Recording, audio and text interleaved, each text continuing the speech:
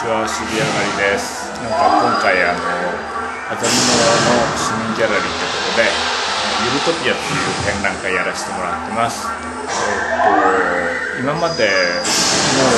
う5年くらいかないろんなとこでこう、えー、アニメーション作ってきたんですけどもそれをなんかの集大成みたいなそんな感じの展覧会です、えー、ちらです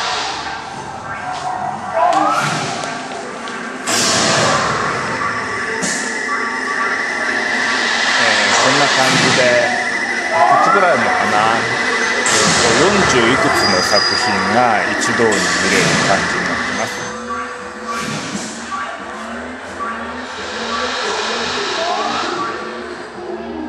で真ん中はあのバナナって呼んでるんだけど一番バカバカしい。あの一番ベタな4コマの元祖みたいなやつ。あれを堂々と重々しく飾ってます。であれを中心にいろんなのがあって。でまず手前がセリフっていうやつなんだけど普通アニメーションは動くんだけどこれはセリフだけ動いてね人は全く動かないってやつ。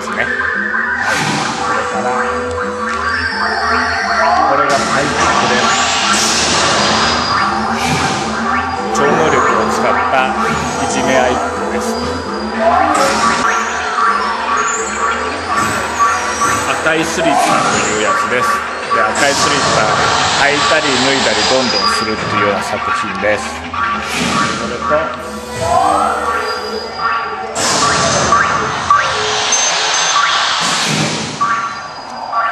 ちらが、えー、ドアという作品です。あれも漫画のなんだろうな3コマ漫画みたいなもんですね。ただストーリーがあるわけじゃなくてだんだんだんだん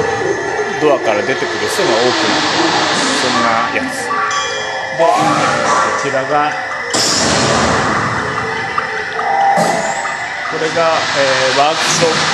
プを、えー、したものなんですけども今回今までのもこれもそうなんだけどあの森下さんというダンサーの方に大変お世話になって、えー、その方のパフォーマンスをトレースさせていただいたという作品が多かったですね。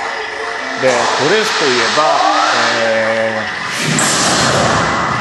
ー、ここら辺のいろんなそれ以外にもいろいろあるんですけどもこれはみんないろんなとこから集めてきた映像をトレースしたものです。なんだろうな。ふざけたのもあれば深刻なのもあるしもう誰かどっかで見たようなものもあるしとにかく僕らを取り巻くいろいろないろいろなものを全部なぞってしまおうみたいな、まあ、そんなところですね。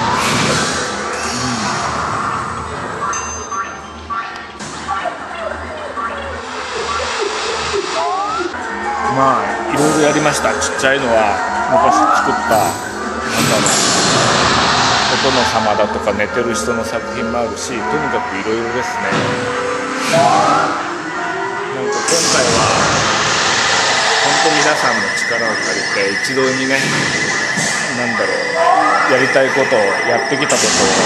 集めた感じなんだけど、う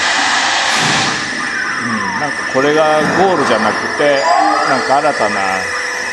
出発点になるような気がちょっとだけしてます。撮影する時もここに親父の顔がでっかくあるからということであのそれを意識して動いてって途中で言われますけど頭を触るのにもここら辺を触るのかみたいなくだらないことの中に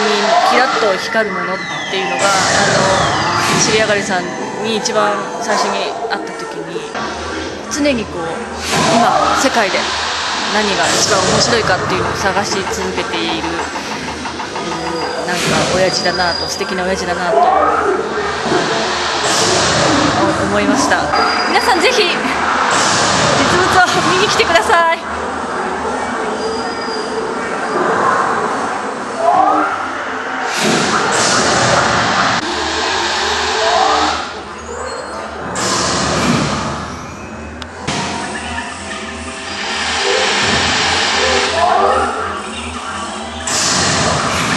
はいこれがえっ、とシャッフルというこれが作品なんだけどあのみんなして同じ画像をトレースしてなぞってでそれを、えーと、ランダムに表示していくと、まあ、そういうこれも一つのアニメーションの一種です。で今回は、えーと、とこういうふうに、えー、名画シリーズですね。同じ名画をみんなでトレースすることで人がその名画を捉えてる。でその集合みたいなのが目に見える形にできないかなとか。その普通のアニメーションっていうのは置いてあるモニターであるとその中の世界を見るっていうのかな。そのフレームの中が独立してるんだけどフレームの外から要するにどこにどう飾られてるかっていうことも含めて見るものみたいな風に捉えたらどうかなみたいな発想だとかあるいはそのトレースっていうのがどういう意味を持ってるのかなみたいな僕はそこにこう人の世界に対するなんかこうぼーっとした視点みたいなのを表すのにトレースっていう方がいいんじゃないかなと思って。まあ何ていうのかな。次から次へとその元の情報っていうのは人の目を通したりメディアを通したりすると劣化して脳に達するわけですよね。まあ、そういうのはそのトレースっていう技法を使って表現できない。とか最初があって終わりがあるとそういう何て言うのかな。それってどうしても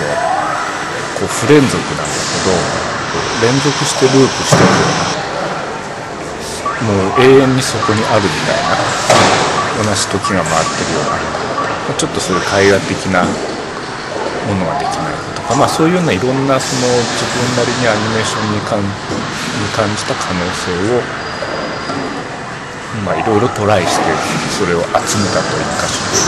まあ、そういうようなあの展覧会なんですよね。だから結果として総集編というよりは、まあ、いろんな発想をやってみたことでまあ言ってみればスタートラインに立ったようなねそんな今回は展示になりました。